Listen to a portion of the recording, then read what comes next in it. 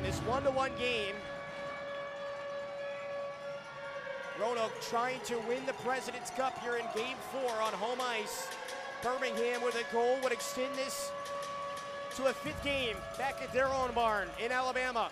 Roanoke won the defensive zone faceoff up Up to Bizzo from Alvo. Bizzo dangling to the circle, shot, scored! It's the captain that wins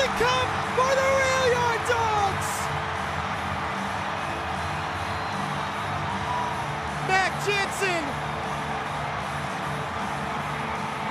Every dog has its day. This day in this season belong to the Dirty Dogs from Roanoke. The captain, Mac Jansen, wins Roanoke its first ever President's Cup championship.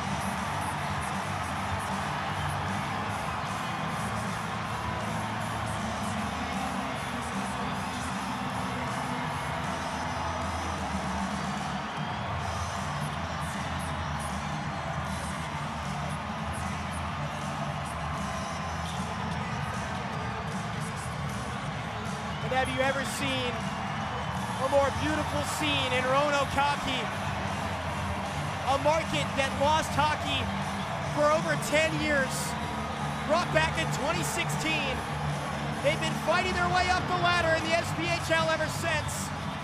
They got to the final last year and didn't quite have what it took. This time around, that unfinished business has been finished.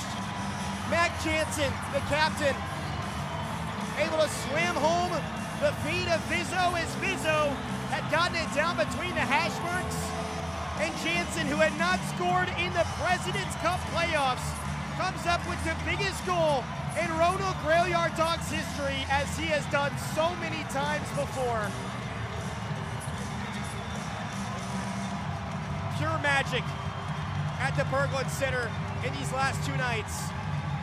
Whoever's writing these scripts, you cannot be doing it any better. The Dogs concede with 10.1 seconds to go in regulation.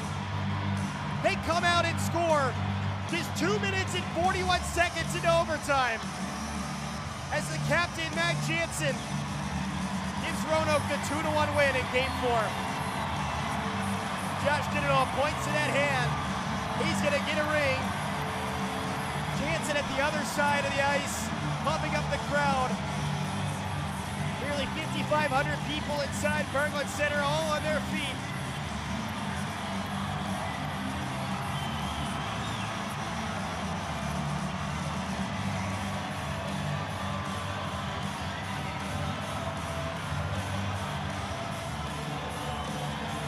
Jansen gets a quick lap in.